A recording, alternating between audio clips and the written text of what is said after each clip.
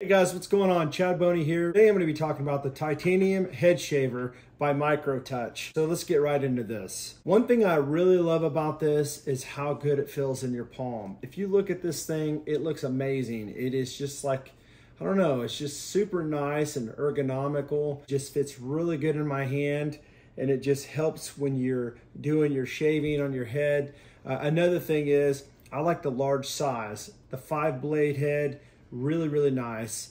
These also have German stainless steel blades, which makes it really, really nice. Comes to sensitive skin. Another thing I like about this shaver is the head is hyperallergenic and also sensitive to your skin. And they're supposed to be really, really good with not giving you razor burn. So if you have sensitive skin or maybe coarse hair, this may be a good option for you.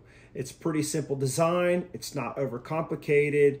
Uh, I like the fact that it has a USB-C charging cable. If you're familiar with Apple devices, most new Apple devices come with a USB-C charging cable, so it would work with this as well. So that kind of makes it more accessible when it comes to charging in tight spots when you don't have your charger. Uh, this is the head that comes off of it, really nice and easy to clean. Probably a lot easier to clean than a lot of other head shavers out there. One thing that I didn't like about the shaver is the fact that it does not have a travel lock. I like to have that travel lock so that way it doesn't go off in my luggage. Uh, with that said, other than that, uh, it's a really nice tool works really good. I will say that it is pretty weighty. Definitely tell that there's a lot of craftsmanship put into this head shaver.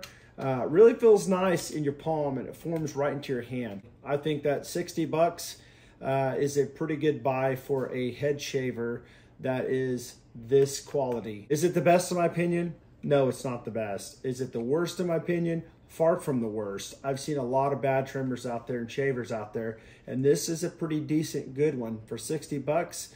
I'm gonna take a second and I'm gonna show you how it works on my head. So here's the power button. It lights up.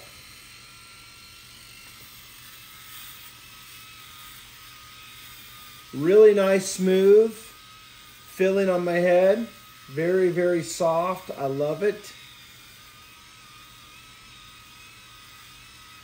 I will say that this is one of the better ones that I've tried. It's not cheap and rough on your head. It is a very nice, smooth, gliding head shaver.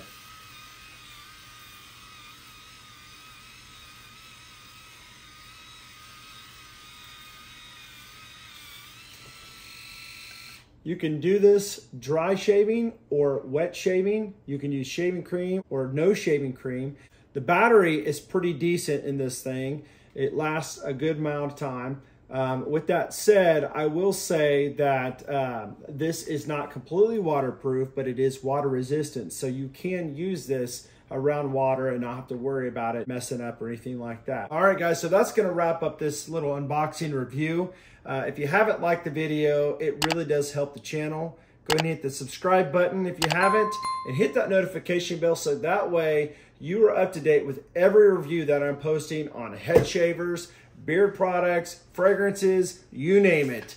Guys, always remember, stay blessed and stay bearded. I'll see you on the next one.